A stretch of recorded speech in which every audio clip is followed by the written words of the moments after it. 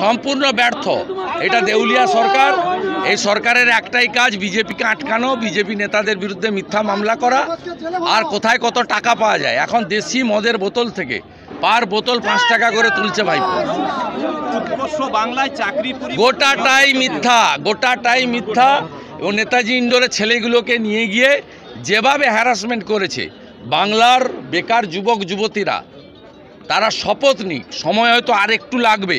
এদের সরানো ছাড়া পরিত্রাণ বলে কিছু নেই।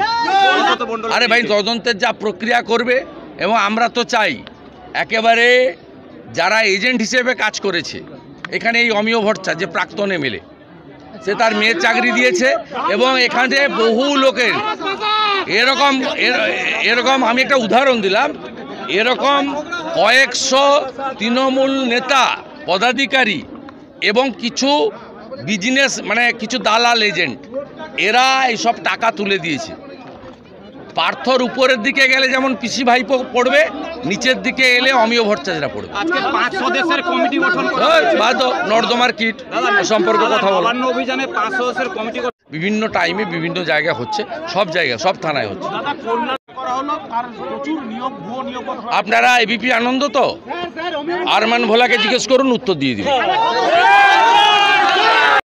আমরা দেখা করার উদ্দেশ্যে আজকে এখানে মিলিত হয়েছিলাম। আমি সঞ্চালক, সহসভাপতি পুলককান্তি গুড়িয়াকে বলেছিলাম যে এদের কাছে আমাদের যেতে হবে, জেলা সভাপতিকে খবর দিন, আমরা পৌঁছাবো। পুলকবাবু এক জায়গায় আনার ব্যবস্থা করেছেন। বিভিন্ন গ্রামে গ্রামে বাড়ি থাকার জন্য আমাদের এই বিস্তীর্ণ এলাকায় একদিনে হয়তো আটটা বাড়িতে যাওয়া সম্ভব হতো না।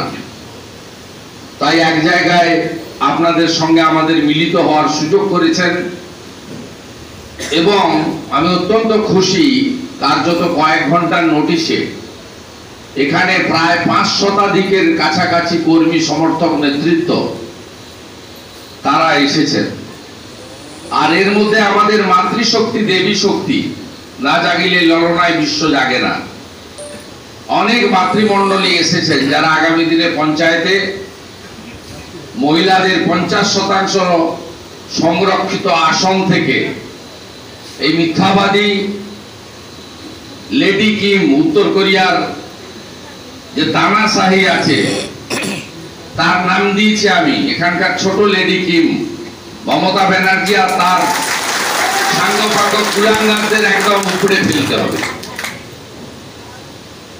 আমি সেই কারণে